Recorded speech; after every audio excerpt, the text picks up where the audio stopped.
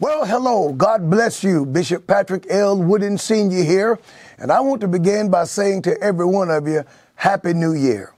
What a year this has been. 2021 has been one for the record books. And I, I, I believe that all of you would agree with me. And uh, I tell you, God has been good to us and the Lord has been faithful.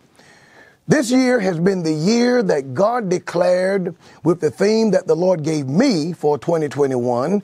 He called us to be worshiping servants. Taken from Matthew's Gospel, chapter number 4, and verse 10, where the Lord said to Satan, Get thee behind me, Satan, for it is written, Thou shalt worship the Lord thy God, and him only shalt thou serve. Thou shalt love the Lord, adore the Lord, Lick the hand of the Lord, if you will. Be like a, a, a dog excited to see its owner at the end of the day when the owner comes home from work and the dad, the dog runs up to it and wagging its, its tail, just so excited that its owner, its master has arrived. Worship. This was the year that we're called to just love God in, in, in such a manner. And then him only shall thou serve. The word serve had to do with the liturgical work of the church. The, uh, the, the, the met, uh, where the metal meets the road work of the church, witnessing, praying, opening the church, keeping the church doors opening, attending church, doing the actual work of the Lord, uh, and uh, the, the, the Levitical work, the work that we do, the attending of revivals and conferences and different things like that. And when the Lord gave me this theme, I had no idea that uh, in during this year, churches would be closed in many states, churches placed on the non essential list. And sad to say, many churches and pastors and bishops and leaders went along with that designation without even putting up a fight. And in the name of safety and under the motivation of fear for their lives, agreed with ungodly politicians who some meant well, but they failed to understand the importance of the house of God. They failed to understand that if there's any house in society that should be left open, it's God's house. We left the ABC stores open in our state. Uh, the vape stores never closed in the state of North Carolina. The big box stores did not close. The grocery stores did not close. These things were deemed essential, but the house of God was deemed non essential. And yes, for seven weeks, we here at the Upper Room Church of God in Christ had to uh, adhere to the edict of our governor, Governor Roy Cooper. And for seven weeks, our church was closed. We still came, we still broadcast, I still preached from the church, but we preached uh, to empty pews, for the saints could not attend service. But lo, seven weeks later, our God whom we served, oh my, righteousness prevailed, godliness prevailed, and our governor was overturned. And the very next day, you've heard this story before, after I got that call on a Saturday afternoon, that righteousness had prevailed. I made a couple of, of calls, and lo and behold, we went into church. We entered into the upper room the very next day, and we have just celebrated week 84 of live services. And I give the praise to the God of the Bible for watching over us and keeping us low these 85 weeks as we have entered into the house of the Lord. Uh, 8 a.m. service on Sunday morning, and an 11 a.m. service on Sunday morning, and then uh, our Bible study on Thursday nights, and just so many things God blessed us to do. And here we are today speaking to you live and well and kept by the power of God. And I have to say this not only has God been faithful, my friends, but you've been faithful. Many of you did not allow me to attend one service alone. Our church mothers, I have deemed them the heroines of our church. Oh, these seniors who came in praising the Lord with their hands lifted high, shouting glory to God. Amen. As we entered back into the house of God, God has blessed us for 84 uh, weeks to, to worship, and not one of those services have the mothers not been represented in great numbers. And you know what? By the grace of God, we have not lost one of them to this pandemic. To God be the glory for the wonderful things that He has done. He has watched over us. As I said before, my friends, the virus is in the world. We live in the world. And yes, uh, there have been members of the church who have uh, uh, contracted the virus, but by the faithfulness of God, the Lord has healed and the Lord has delivered and the Lord has set free. God, in His goodness, took two of our members home. I'm just grateful that the cause of their uh, uh, contracting COVID was not due to any negligence or any outbreak or anything here. But God took two. I don't use the word just two. I don't use the word only two, for these were two mighty saints of God who are now around the throne and serving Jesus Christ. And they, they've joined the great cloud of witnesses and they're there cheering us on, saying, carry on, carry on. Soon we'll meet again. And my friends, I say soon one morning, oh, soon one morning, I'm going to lay down my cross and get my crown. Soon one morning, I'm going home to be with the Lord. And I'm telling you, I look forward to it. And I know that you do too. But until God uh, calls us home, we're going to serve Him. Amen. And we're going to lift Him up and we're going to give the God of the Bible all that we have. But back to your faithfulness. Thank you for how you have stood by this ministry. Thank you for every prayer that you have prayed. And I know that you've been praying. And I'm speaking to the, to the, to the members who are near and far. I'm speaking to people who have gathered in the sanctuary with me, and I'm speaking to people whom I have never met. They've never darkened the door of this church, but you have gotten down on your knees. You have lifted your hands. You have called up heaven on the behalf of yours truly and the Upper Room Church of God in Christ. And I want you to know, because of you, because of your prayers, because of your consistency, because of your belief, you're joining us in this quest to simply obey Hebrews 10 and 25, to not forsake the assemblings of ourselves together as the manner of some is, but gather so much the more as we see that day approaching. Because of your prayers, God has enabled this preacher. God has enabled this man of God to, to stand to, and to withstand uh, during this evil time of attack, during this pandemic, because of your prayers and your faithfulness. Oh my, God has been good. And I sit here today uh, speaking to you with all sincerity saying to you, thank you.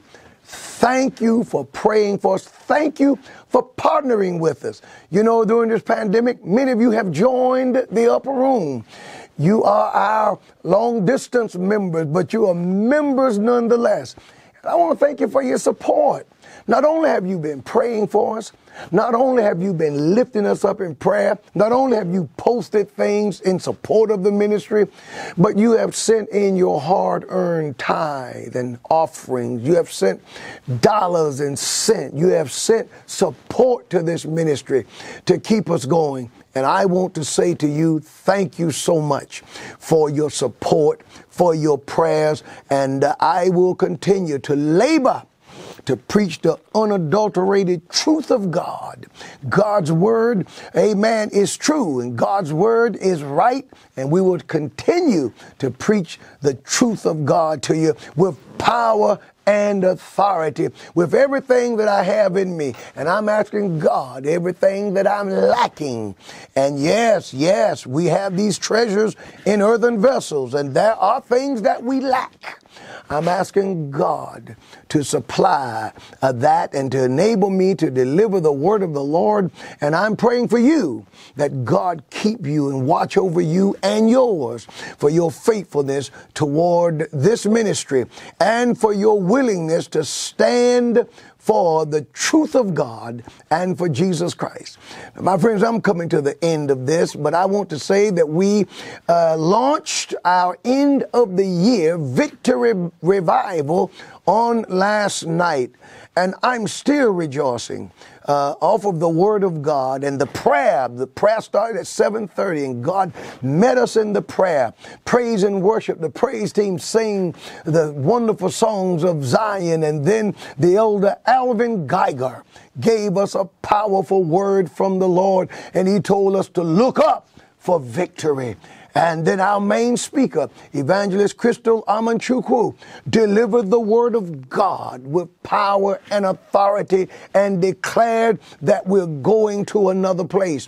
And I believe it. I believe that in 2022, should the Lord delay his coming, and he allow us to live. I believe that we ought to change our posture, look up and expect victory, and watch God take us from one faith level to the, to the next. Watch the God of the Bible take us to another place. Whatever Satan pre- presents, he can't present anything that's more powerful than what the God of the Bible has already done. And he has prepared us and is preparing us for what ever lie ahead. Whatever variant may come, whatever may come, God's in it.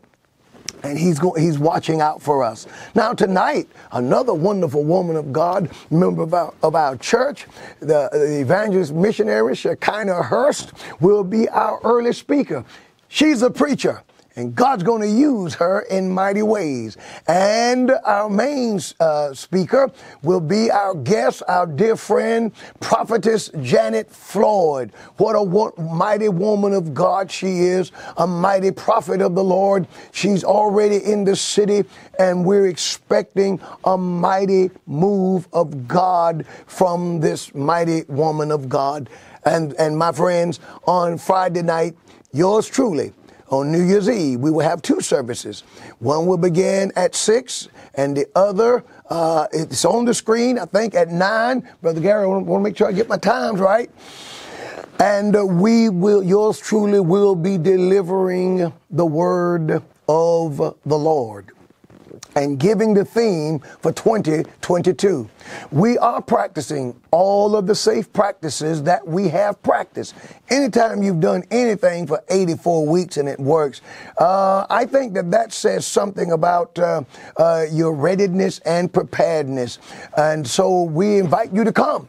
We invite you to come. We are social distancing and we are having two services instead of the one. We will be praying for everyone present, but uh, normally during the new year, I personally lay hands on everyone uh, present. But we're not going to personally lay hands, but I'm going to personally pray. And I believe that God is going to bless us nonetheless and, and, and anoint you for the coming year and anoint you for the theme. I want to tell you what it is, but I can't. I got to wait.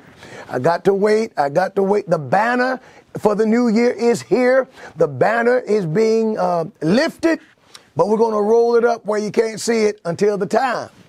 And so uh, we're excited about what God is is doing. And as I close to my friends in the Texas area, I'm going to be uh, attending. I will be a part of the uh, Acts 6 and 4 conference in Texarkana, Texas, at the Texarkana Convention Center. I'm going to be with the mighty man of God, Pastor Jason uh, Stidham, and I'm excited. I will be uh, preaching the January 5th, 10 a.m. service. If, if you're in the area and you can come, I'd love to see you. Join me at the Acts 6 and 4 conference there in Texarkana, Texas on January the 5th. Now we're having service tonight. Meet me tonight right here at the Upper Room Church of God in Christ. My friends, God is going to bless us real good. And let me tell you, uh, Evangelist uh, uh, Hurst and Prophetess Janet Floyd are going to preach and you will be here to say amen and get a blessing from the Lord as these mighty women of God go forth. I am expecting a move of God. We had a move of God last night. I'm telling you, I'm still a little, uh, I'm still a little drunk off of it. For I tell you, I was blessed and, and the house was blessed. The atmosphere was blessed and I'm grateful. I'm grateful. Let me tell you, you're talking about some members. I'm grateful that with the uh, the, the variant, the new variant, and everybody's talking about Omicron now, and uh, we heard about Delta and all. The, it's all real. I thank God. I tell you, the saints came out like it was Sunday morning. Thank you for your courage and your faith in the Lord. We're not tempting God to attend service during a pandemic. We're not tempting God. You know what we're doing? We're obeying God. For he was the one who said, Forsake not the assemblance of yourselves together. And I hadn't looked, there's no asterisk beside Hebrews 10 and 25 that says, except in the case of a pandemic.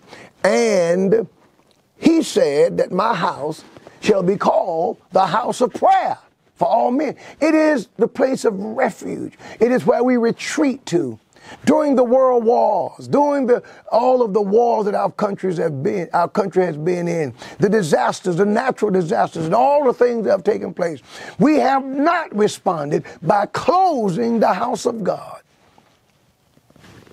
In times past, we responded just the opposite.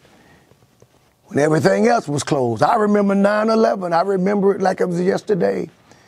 When everything else closed down. People attended church.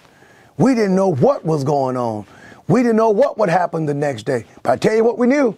We knew that if we prayed, God would intervene, and He did. So, my friends, meet me tonight. I love you.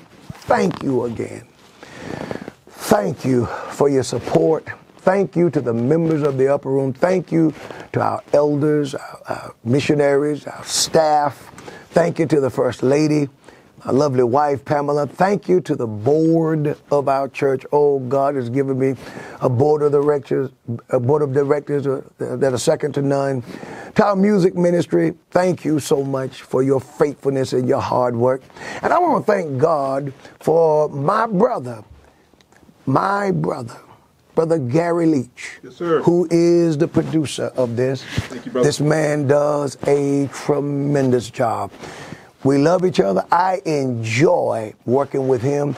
He's a genius, and he has, is a tremendous blessing to this ministry. Thank you, sir. Thank you, Bishop. For all that you do. Thank you, Bishop. We'll see you tonight.